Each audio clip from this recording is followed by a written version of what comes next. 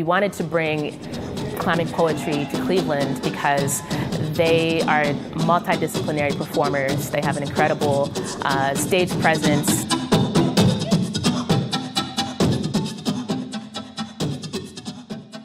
Um, we thought it was a perfect opportunity to partner with our neighbors right down the street at the East Cleveland Public Library. East Cleveland is the place where I had my childhood, but I came to adulthood in Brooklyn, so to have these particular women here who are part of my extended tribe of artists in in Brooklyn is really meaningful because what they do is what libraries are really about you know, is to think about what's going on in the world and take that information in and synthesize it into something that is meaningful to you. They presented a spoken word performance that was multidisciplinary and it was filled with messages about environmental justice and social activism. In New Orleans, morning glories have been planted to pull toxins from the land, and the stories of survivors have inspired self reliance mobilize 10,000 minds and hands to rebuild dignity and life outside of what the government had planned. So, the workshop that we did at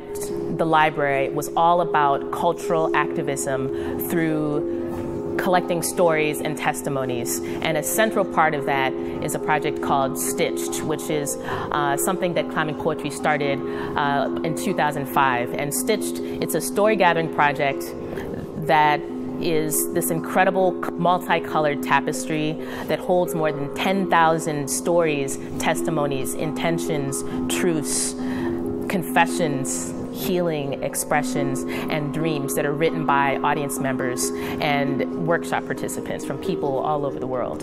Petals folded like dreams of lotus that bloomed in murky water. So, what I think of when I see the red and all of what it's really sharing because I've always been a really big fan of the Venus of Willendorf because she's a full body goddess. And I can remember so many times being raised how being a big girl was an issue. There have been big people on the planet forever.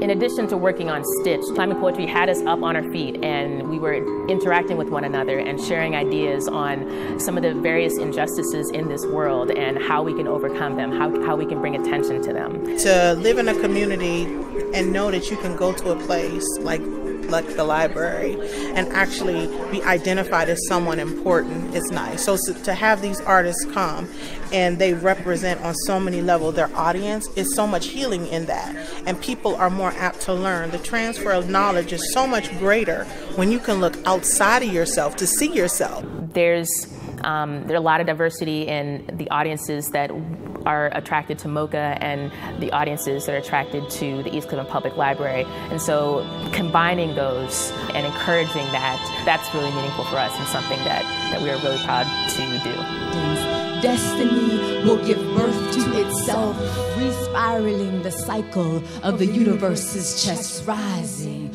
with each breath. Will we be there to exhale?